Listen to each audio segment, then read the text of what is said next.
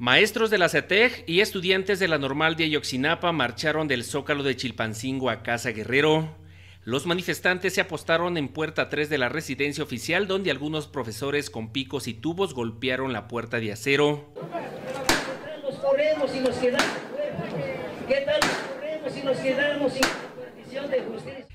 Eran las 3 de la tarde cuando los ánimos comenzaron a subir de tono.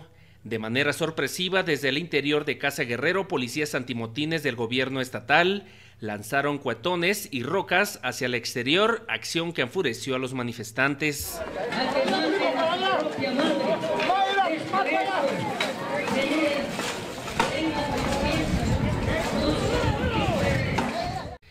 Un grupo de encapuchados con tubos golpeaban la puerta con el objetivo de derribarla, pero fue imposible.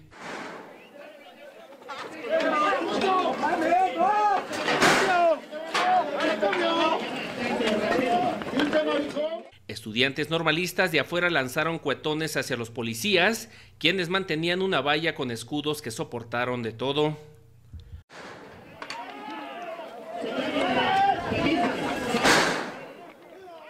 Ya fuera de control con un vehículo oficial del DIF Guerrero, derribaron el portón.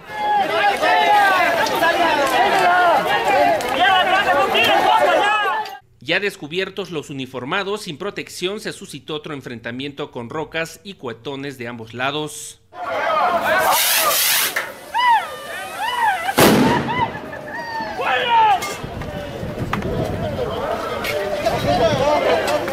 Al final de la trifulca, los normalistas prendieron fuego al vehículo justo en medio del acceso a la residencia oficial Casa Guerrero.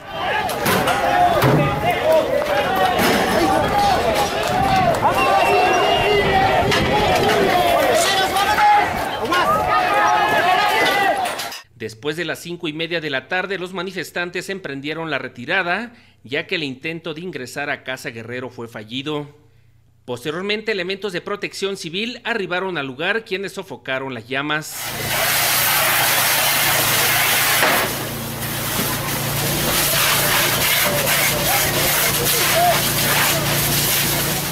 Ante esta acción violenta se reforzó la seguridad con más policías del Estado, quienes quedaron apostados al interior del inmueble.